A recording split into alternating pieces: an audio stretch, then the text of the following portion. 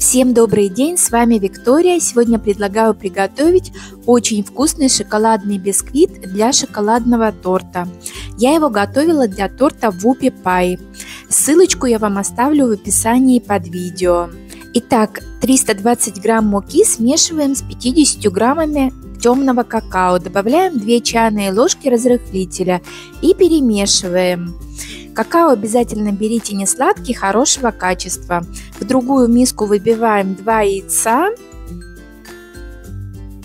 К яйцам добавляем щепотку соли и 230 грамм сахара. И начинаем взбивать миксером. Взбиваем в белую пышную массу. Масса должна хорошо увеличиться в 2-3 раза.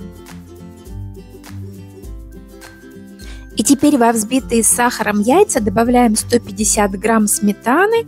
У меня сметана 30% жирности.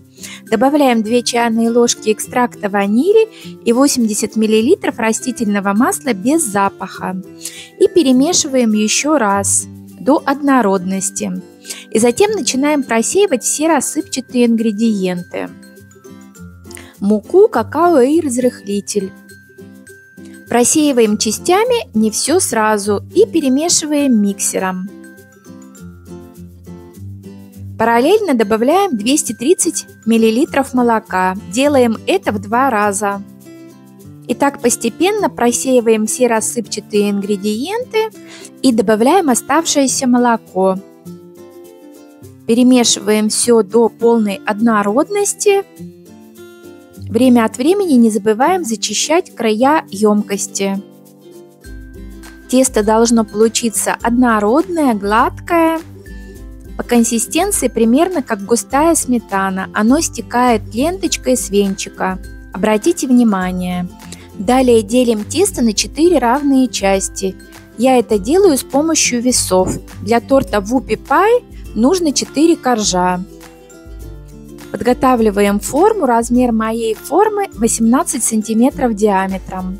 Застилаем ее пергаментной бумагой. И смазываем кусочком сливочного масла. Духовка уже должна быть разогрета на 200 градусов. Перекладываем одну часть теста в форму, аккуратно все разравниваем и отправляем запекаться ориентировочно на 10 минут. Не забывайте, что последующие коржи могут запекаться немного быстрее. Готовность проверяем легким нажатием пальца в середину теста или зубочисткой. Вот такие красивые коржи получились. Смотрите, не пересушите. Если коржи у вас получились не очень ровные, то их можно подровнять с помощью тарелки и ножа. Получаются они с характерным шоколадным вкусом, ровные, гладкие и очень вкусные. Обязательно попробуйте приготовить шоколадный торт с такими коржами. Всем желаю приятного аппетита, готовьте с удовольствием, пишите мне ваши отзывы и комментарии. Всего вам доброго и до новых встреч! С вами была Виктория.